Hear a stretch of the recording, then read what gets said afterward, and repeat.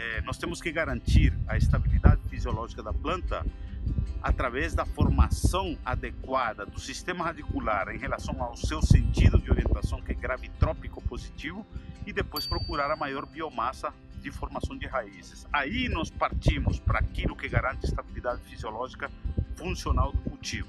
Né? Sistema radicular que esteja respeitado no seu sentido de crescimento com a maior formação de biomassas.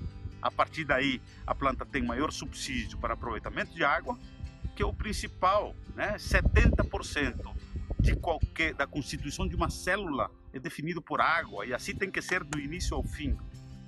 Então, vê-se claramente que na, na metade em que o algodão sucede ao feijão guandu, é um algodão com muito mais oportunidade, com muito mais clareza de potencial produtivo.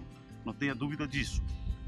E é isso que nós temos que partir para fazer no sistema de produção: recuperar a vida do solo através de sistemas com plantas de cobertura que eficientemente mostrem a, a, a capacidade, certo? De poder fazer dentro dos limites a subsolagem biológica, né? a, a formação de bioporos. Obrigado, professor Pazetti. Olha só, grande prazer estar aqui com você.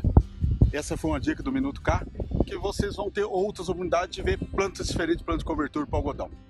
Obrigado, Pazetti. Um grande abraço. Um abraço para todos.